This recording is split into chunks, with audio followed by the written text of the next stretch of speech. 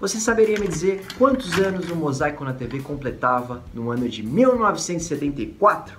Alternativa A, 1 um ano de idade. Alternativa B, 2 anos de idade.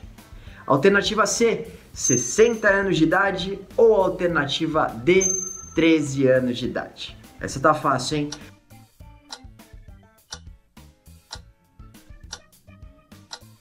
A alternativa correta é alternativa D.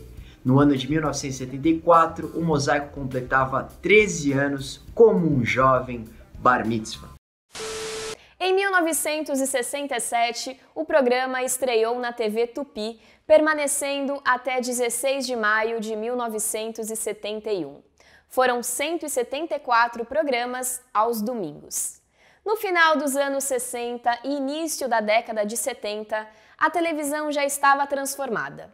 No conceito de grade de programação, no uso do satélite para transmissões, no conceito de rede nacional, na publicidade em escala industrial e na programação concebida também como produto.